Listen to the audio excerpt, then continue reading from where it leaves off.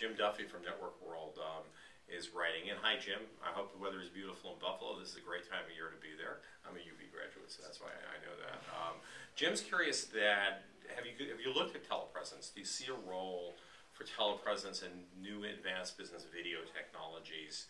You know, playing a role um, in in the future delivery. We know we I know we talked for a minute or two before we started about that.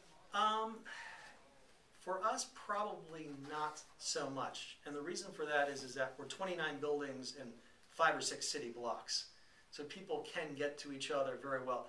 We do, there is some stuff that I, I can say that we see, and I don't know if it will be telepresence or some other video conferencing system, is that we do do a lot of world-class seminars, and we have a lot of world-class talent.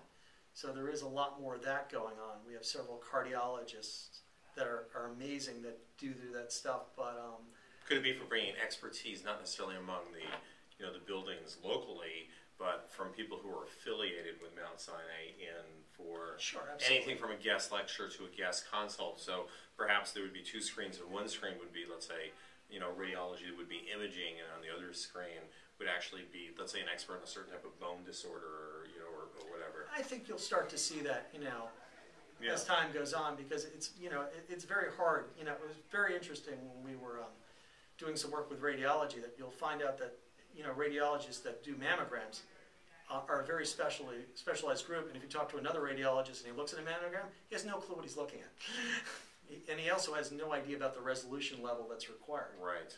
So, yeah, I think. But do you you'll- think with 1080p, do you think no, that we're no, getting no, not actually, there yet? don't even, Yeah, I'm sorry. Just don't even help. But, Um, um, I mean, That's fair. Yeah. But no, I think you will see more and more of that interaction because, especially you know, in the Manhattan market, there may be hopefully. I mean, one of the things New York City is concerned about, unfortunately, after 9/11, is burn centers. Mm. So they're really trying to get the hospitals geared up now in case of a catastrophe, God forbid, that you Mhm. can really tap all the talent quickly, and say, you know, and, and the real talent we're talking about is triage. Right. You know, how bad is this person burned? What can you do with them? What can't you do?